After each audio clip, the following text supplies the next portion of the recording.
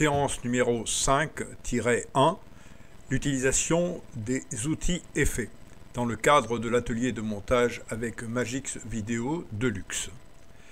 Donc, nous en étions restés à couper notre film de façon à le rendre le plus euh, ludique possible en ajustant tous nos éléments. Donc, nous retournons sur le projet.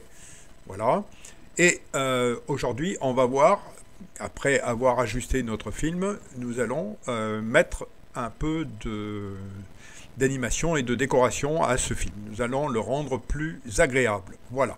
Donc, dans un premier temps, avant d'attaquer, je vais vous montrer un certain nombre d'éléments qui vous sont utiles. Hein. C'est un peu un complément par rapport à ce que l'on a pu faire jusqu'à présent. Voilà, donc on va aller dans Fichier.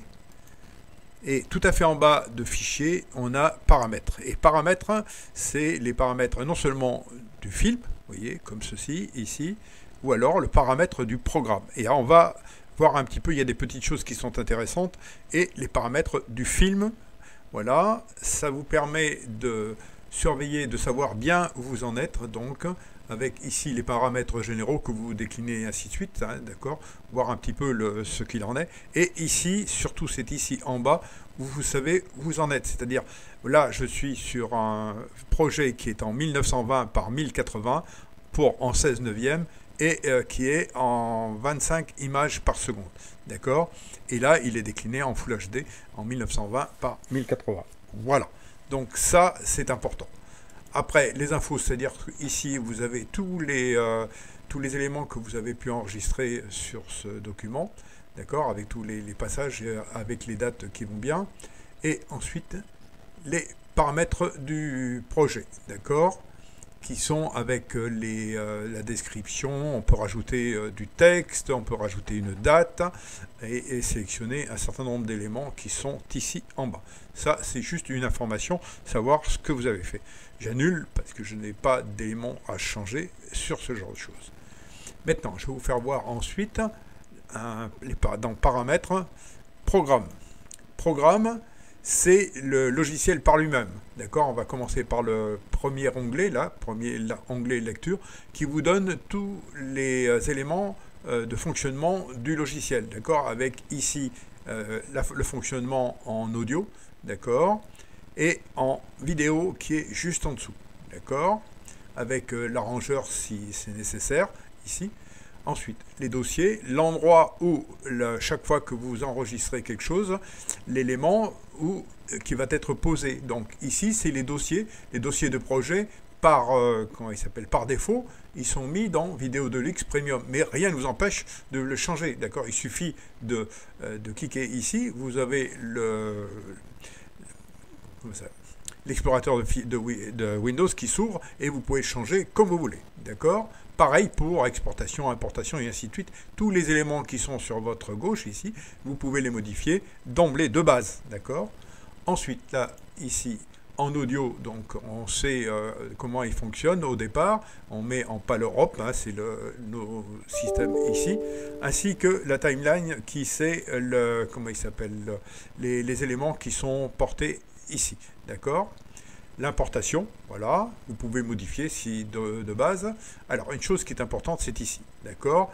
Voilà, les interfaces euh, et ainsi de suite, mais surtout ici, d'accord? C'est savoir euh, que pendant, vous pouvez revenir 15 fois en arrière hein, avec CTRL Z de façon à ce que vous retrouviez vos, éléments. Si vous avez fait une bêtise ou quelque chose comme ça qui s'est passé, donc on peut revenir en arrière et il n'y a pas de souci. D'accord? Plus autre chose ici, les sauvegardes. Alors, moi je vous invite à régulièrement de sauvegarder. Sauvegarder avec euh, Windows, c'est pas trop compliqué. C'est vous faites CTRL et la touche S et vous enregistrez au fur et à mesure. D'accord. Donc, ce que vous pouvez faire aussi, hein, c'est ici bien faire attention que cette coche soit posée et les sauvegardes automatiques toutes les 10 minutes, vous avez une sauvegarde qui se fait. D'accord? Vous allez le voir assez fréquemment, même pendant cette euh, vidéo. Vous verrez à bout d'un moment, hop, vous avez un petit encart qui vous montre comme quoi le, comment il s'appelle, la sauvegarde est en train de se faire. C'est très très important parce que vous risquez euh, malheureusement, si vous n'y prêtez pas garde, si votre ordinateur se plante, de perdre tous vos éléments. Et ça, c'est pas très très agréable, surtout quand on s'est échiné à faire quelque chose le mieux possible. Voilà. Ensuite, l'option des périphériques, bah, vous regardez, comme ça, vous savez, il n'y a rien d'important de, à notre niveau. Voilà, et les imports, ça, c'est tous les, euh, tous les éléments qui peuvent être importés, importés et lus par le logiciel. Vous voyez, avec toutes les, différentes euh, en PNG et ainsi de suite, d'accord hein, Tous les éléments qui peuvent être lus par Magix. Voilà.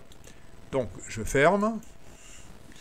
Et maintenant, on va attaquer la partie, vous voyez, la, sauvegarde qui vient de se faire juste à l'instant. D'accord? La partie, donc, on va voir euh, tous les éléments en effet. Les effets, ben, c'est ce qui porte une modification par rapport au rush que vous avez pu euh, faire, d'accord? Et que l'on a mis ici sur notre timeline, d'accord? Voilà, donc ici, les effets euh, ont été simplifiés Hein, et sont portés en euh, plusieurs catégories. Donc je vous mets les favoris, ça les favoris, ça c'est une chose. Les titres, d'accord, on, verra ça plus dans une séance particulière. Alors, les effets vidéo, c'est-à-dire que l'on va travailler, on va modifier le, rush par lui-même, la, couleur, les éléments euh, de, décor et ainsi de suite, passer de noir et blanc et ainsi de suite.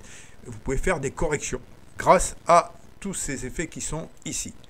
Ensuite, Là, on va pouvoir faire des modifications sur la structure même, c'est-à-dire prendre tout ou partie de notre rush, c'est-à-dire on peut faire des zooms, on peut extraire, on peut faire des travelling, on peut faire euh, réorienter s'il est mal fait, faire des corrections d'objectifs, des déformations, et ainsi de suite. D'accord? Ça, c'est la séance numéro 2, on verra ça à ce moment-là. D'accord? Ensuite, ça, la vidéo en, 3, en 360 degrés, d'accord, qu'on peut, si vous avez une caméra qui a été euh, prévue pour ça, et ainsi que la stéréo en, en stéréo 3D, d'accord, voilà. Ça, et euh, les effets audio, ça sera l'objet aussi d'une séance particulière, d'accord? Que je vous enverrai ça après. Ensuite, derrière, vous avez un certain nombre d'effets euh, supplémentaires qui sont en fonction de votre achat. Quand vous avez acheté votre logiciel, il y a eu un certain nombre d'éléments qui ont été fournis euh, gracieusement en plus, donc eh bien, ils sont chargés ici, d'accord? Voilà. Donc, je vais revenir sur les effets vidéo. Hein, je fais je me réajuste. Alors, une chose importante. Pour modifier un rush, il faut le sélectionner. Ça, c'est important. D'accord? Très important. Donc, par exemple, j'ai mis un rush supplémentaire là pour bien euh, qui est un peu particulier. Vous voyez, il est ici euh, à l'écran, sur l'écran de visualisation ici, et c'est celui-ci. Donc, si je veux le modifier, il faut que je le sélectionne. Vous voyez, il est sélectionné en jaune, il est actif. Et je peux jouer, agir sur lui. D'accord? Alors, ça, je vais aller sur l'icône correspondante, hein, l'icône luminosité et contraste. Voilà. Et vous avez sur la partie droite, ici, tous les euh, éléments qui vont vous permettre de modifier le rush en question. J'ai bien mis ma tête de lecture au-dessus pour bien voir ici sur l'écran de visualisation euh, ce qui va se passer. Et avec les, curseurs ici, hein, avec ma souris, ben, je peux bouger. Et si vous regardez à droite, vous voyez, là, je suis en train de donner un peu plus de luminosité. Et à l'inverse, à contrario, dans l'autre sens, eh ben, je vais assombrir. D'accord? Là, je vais porter du contraste. D'accord? Voilà je vais diminuer le contraste par là et je vais l'augmenter par ici. D'accord? Voilà, jusqu'à porter ben, pratiquement euh, plus rien de voir du tout. D'accord? Et vous avez la partie qui est ici. Hein, il suffit de remettre euh, à, à 50 et je remets pratiquement au milieu. D'accord? Voilà. Alors, vous voyez, j'ai fait des modifications. D'accord? Ces modifications sont retenues par le, rush. C'est-à-dire que lui, il a enregistré, le, le logiciel pardon, a enregistré que j'ai fait des modifications sur ce rush. Eh bien, comment le voir? Eh bien, c'est, euh, Ça a été prévu. Il suffit d'aller sur cette flèche ici, cette double flèche ici, et vous allez voir que en dessous, là, sur cette partie, vous avez des euh, comment il s'appelle la modification qui a été effectuée. Voyez ça? Là, ben, il suffit, si vous vous êtes trompé ou si vous ne voulez pas le conserver, ben, il suffit d'aller dessus et puis tu fais, vous faites supprimer. Et je reviens sur le rush comme il était au départ, sur la configuration d'origine. Voilà, je rebaisse pour bien voir ce que l'on fait. Si vous voulez agir sur la couleur ici, voilà, vous avez sur la partie droite donc un élément qui vous permet de modifier la couleur, d'accord De la rendre plus chaude ou plus froide, comme vous voulez. Le froid, ben, c'est le bleu, principalement, vous voyez. Si je mets un petit peu plus bleu, vous voyez, je passe dans des couleurs froides qui, euh, comme pour l'hiver, c'est ça, par opposition à, euh, au rouge, voilà, ou au orangé, hein, qui vont vous donner des, des teintes plus euh, chaudes, d'accord? Voilà. Hein, le vert étant plus, un peu froid aussi, hein, d'accord? Voilà. Donc, et je reviens ici, je vais supprimer de nouveau tous ces effets. Pour venir mon, euh, mon élément de base, je rebaisse. Correction couleur aussi. Ben, vous faites pareil, hein, vous essayez. Le mieux, c'est euh, de, je ne vais pas vous dire faire ci, faites ça, c'est à vous à bien vérifier ce que vous voulez faire et vous pouvez obtenir le, les, les, modifications que vous souhaitez. D'accord Pour ça aussi, vous voyez, regardez, on peut appliquer l'effet. Voilà. Et regardez ce que ça donne.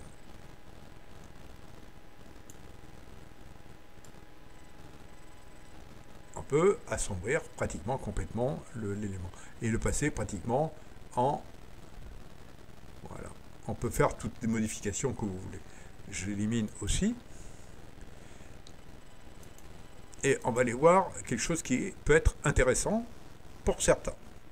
Ben, vous savez que quelquefois, on peut euh, filmer sur en, vert, d'accord? Le, sur fond vert, pardon, comme ceci, hein, le beau lion qui est ici. Je l'ai mis et euh, sur le, un de mes euh, rushs de, comment il s'appelle ça, sur le, plan d'eau là, eh bien, je vais faire en sorte que le lion en question ici soit, on, enlève le fond vert, d'accord, et il soit posé au milieu du lac, d'accord. Eh bien, je vais, comme je vous l'explique depuis tout à l'heure, il faut bien sélectionner l'élément qui est ici, d'accord Et à ce moment-là, on va aller sur un élément qui est relativement simple à manipuler. Vous allez en chrominance, ici, d'accord En chrominance, ici, on va agir sur une couleur et enlever toute la couleur correspondante, d'accord? Et ici, le vert en question. Donc, je vais aller sur estampage. S'il veut bien,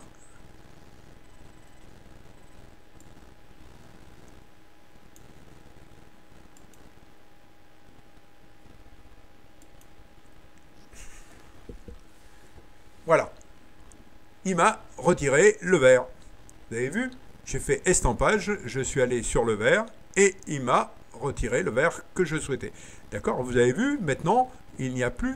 C'est comme si on avait avec les, comment on appelle ça, les photos. Vous savez qu'on peut retirer. Pareil, et eh bien là, vous avez la partie euh, verte qui n'existe plus, qui, enfin qui n'existe plus, qui a été euh, masquée hein, pour ne conserver que notre beau lion ici. Donc estampage, couleur, le vert, et euh, vous avez le, comment il s'appelle, la sélection. Voilà, d'accord? Ça, c'est pratique hein, pour euh, les gens qui veulent faire euh, des petites animations avec des personnages que vous pouvez placer sur différents, différents sites arrière, hein, sur la, partie arrière, hein, les faire balader Rome à, San Francisco en n'ayant jamais bougé de chez vous, eh ben, ça, c'est pratique. Voilà. Donc, vous voyez que avec tous ces effets euh, vidéo, hein, et là j'en passe et des meilleurs, vous voyez, même on peut agir sur la forme, on va aller euh, faire en sorte, je vais me mettre ici, sur cet élément, ici, vous voyez, j'ai une photo que j'ai mis par-dessus. Là, je vous explique, je ne vous ai pas encore expliqué, le logiciel lit en commençant par la piste qui est ici, la 2, et après la 1. D'accord? Donc la 2 se situe au-dessus de la 1.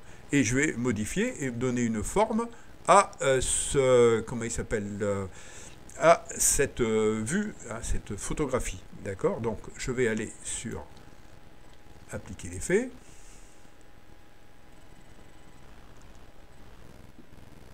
Ah plutôt, c'est plutôt celle-là. Hop. Voilà, donc on va ajouter, donc là on n'a pris que le cercle, on va, le générateur là on va l'enlever celui-là, supprimer l'effet, voilà, et je ne conserve que la partie, et là c'est un cercle, mais je pourrais le mettre en ovale, vous voyez, et là ce que je peux faire, c'est aussi euh, faire en sorte que les bords soient adoucis, c'est ce qu'on appelle plume ici, donc vous augmentez, et vous allez voir, ça fait un peu adouci, le, système. Et la bordure, pareil, soit la bordure on peut la laisser ou on l'enlève carrément. Vous voyez, il y a encore une sauvegarde qui vient de se faire. D'accord Voilà. On peut faire en sorte aussi de répéter le, comment il s'appelle, l'ovale. On peut le répéter soit en X, comme ceci. Vous voyez, regardez, ça fait deux cercles qui sont répétés. Ou alors en Y, c'est-à-dire l'un au-dessus de l'autre. Vous voyez Voilà. Voilà pour le, ces effets. Hein qui sont euh, ben, assez amusants. Vous pouvez jouer sur la netteté, le flou et ainsi de suite, hein, comme vous voulez. Ça sera en fonction de vos idées. Une dernière chose, ici, vous avez toute une possibilité, vous voyez c'est des cercles, des, euh, des passés en noir et blanc et ainsi de suite. Vous avez toute une autre possibilité d'éléments qui peuvent être portés sur votre rush en question. Voilà. Donc, c'est à vous à choisir le bon élément et les essayer. C'est la meilleure des solutions, c'est de les essayer. Comme ça, vous saurez exactement de quoi il en retourne sur ces éléments. Je vous ai montré qu'ils existaient, où ils étaient et comment les mettre en œuvre. Eh bien, ça, c'est euh, à vous après de voir comment ça réagit sur vos rushs et avec euh, toute votre euh, créativité pour pouvoir les utiliser à bon escient. Donc voilà pour cette séance et la prochaine fois, eh bien, on va justement parler de la de l'affichage et animation et avec un élément important qui sera à parler des keyframes ou euh, des points de contrôle, comme vous voulez, en français ou en anglais. Voilà, bonne chance et à bientôt.